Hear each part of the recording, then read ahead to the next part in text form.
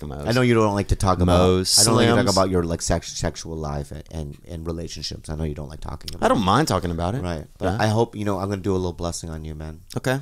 I hope to God, the Lord, that you have a child in the next three years. Oh. What are you guys talking about? Isn't there volleyball on the pool deck?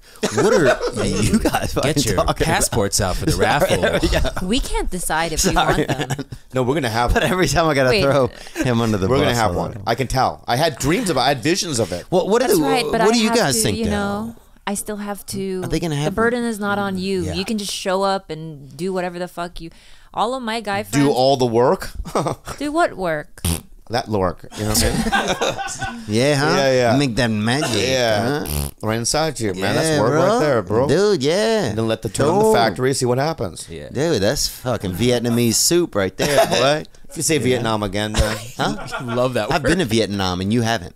Okay, I've been to the Ben Thanh market. Oh yeah, you have. You were there, right? Yeah. Was it fun? I stayed at the Star Hotel. What is this accent? It's Vietnamese. Oh. Yeah. You were in Asia, huh? Yeah. Yeah. It's not Asia, it's Vietnam. Vietnam. Do you go to brothels ever? No. You've never been to a brothel. Here's what happened. Here's what happened. So I got to Vietnam, right? Right. And we get to Vietnam, and um, and the taxi driver, we just wanted to go see anything, right? And we get in, and the first thing they do is take you to a place where you can buy sex if you want it, if you want sex, you know. And I was 22 years old, I think, when this happened. So who knows if I wanted it or, or not. So anyway, this guy takes us. We don't know that though. We think he's just, you know, we told him like, oh, take us to uh, supermarket, take us to Star Hotel, take us to some, you know, um, the uh, American War. That's what they called it there, right? So, so this guy's driving us. He drops us off. It's a pet shop. So we go in and they got fucking pets. You know what I'm saying? And I'm, you know, I grew up around pets, and you know, I know about some pets, and I'm like, oh, this would be great. You know, see what pets they have over here. And so they have um, large parrots, parakeets, and parrotlets, which are small parrots. and so we're fucking looking at all these parrots and shit. Next, you know what? My buddy kind of moves into the back of the. There's like a curtain. He moves back behind there. And next thing I know, my other buddy and this other this lady comes out and gets me and him. Next thing you know, we're all back there, and it's uh, prostitution, and they doing prostitution. And so they got the birds up front, and it's just a it's a decoy. You know, the birds are just up there faking it. None of them even want to go home to new people's homes. and in the back, they're trying to suck you out.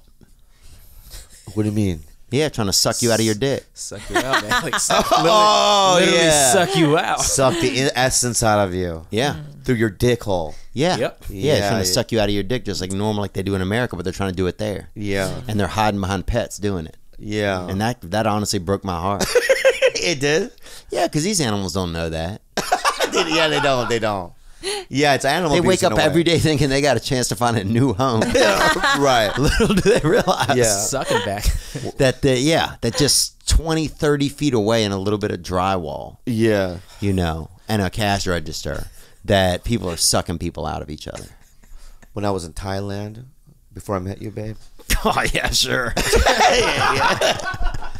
I Did, remember. didn't you have a girlfriend while you were in Thailand? No way. No, no, no, I had no girlfriend. No way. I had no girlfriend.